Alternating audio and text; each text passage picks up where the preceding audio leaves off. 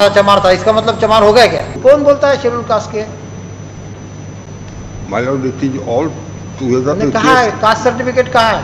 आप नारायण चमार के बच्चों को रिजर्वेशन देंगे क्या एजुकेशन एम्प्लॉयमेंट में? वो आएगा मैं चमारू बोलेगा।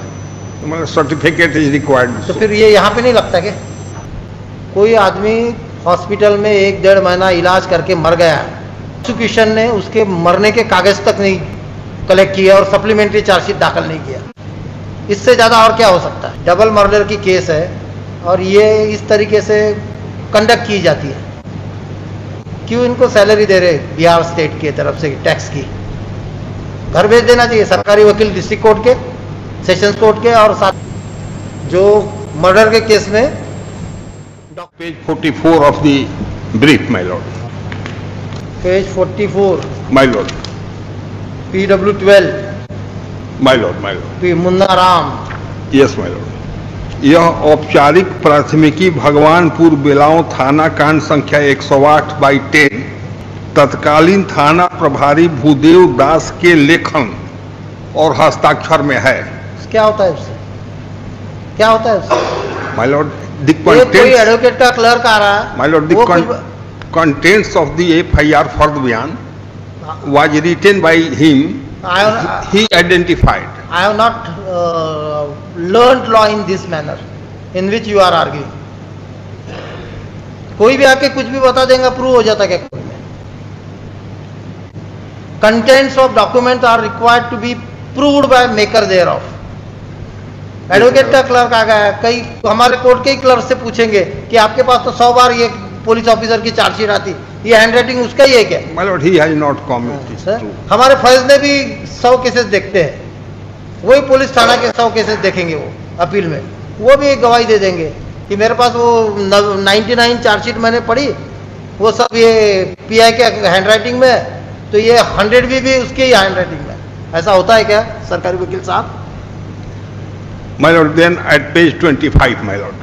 Yes pw 6 my lord. So for the eyewitness To frankly tell you, you should have recommended suspension and dismissal of this IO.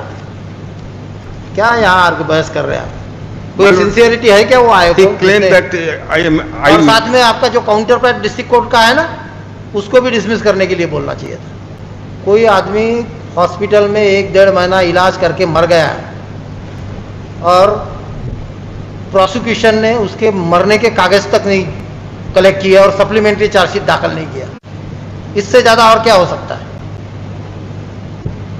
सब लोगों को डिसमिस करवाना चाहिए। डबल मर्डर की केस है और ये इस तरीके से कंडक्ट की जाती है। क्यों इनको सैलरी दे रहे बिहार स्टेट की तरफ़ से टैक्स की? घर भेज देना चाहिए सरकारी वकील डिस्ट्रिक्ट कोर्ट के सेशंस कोर्ट के और साथ में वो आए हो। चलो, आप करो, आपका काम कीजिए। लेकिन जो है नहीं चीज़, वहाँ आप कहाँ से लाए लाओगे?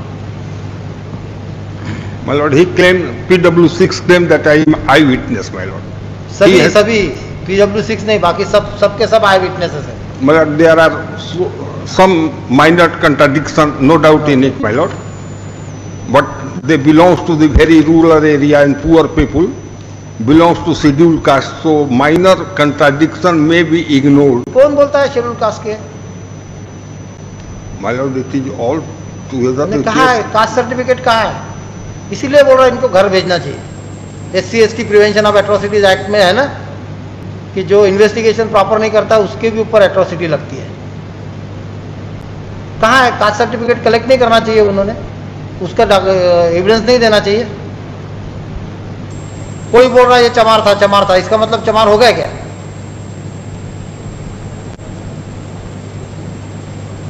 कास्ट सर्टिफिकेट में वैलिडिटी सर्टिफिकेट लाना पड़ता है। वो कोर्ट के सामने प्रोड्यूस करके प्रूव करना पड़ता है। कुछ नहीं विटनेस कैजुअली बोल रहे कि नारायण चमार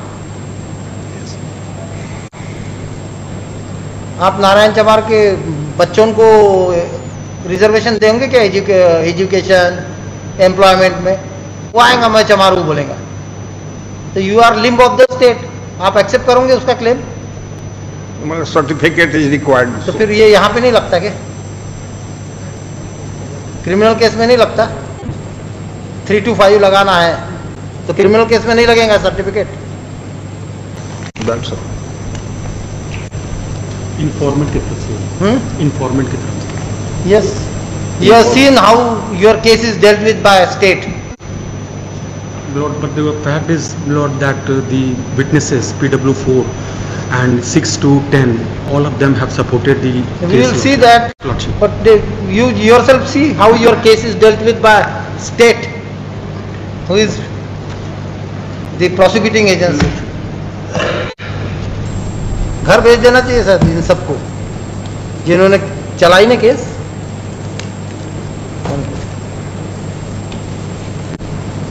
ये प्रोसिक्यूटर ऐसे भी होते हैं हम पहली बार देख रहे हैं और आयो भी ऐसा ही होता है जो मर्डर के केस में डॉक्यूमेंट कलेक्ट नहीं करता। वो मर गया, हॉस्पिटल में ट्रीटमेंट लेते लेते उसका कोई कागज़ नहीं होगा, किस कारण वो दाखिल हो गया?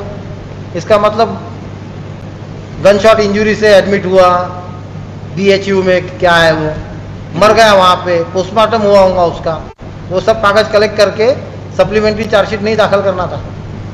एनीवे ये सब बातें अब करके कोई क्या बात है? थर्ड 5 किया गया था। Heard both sides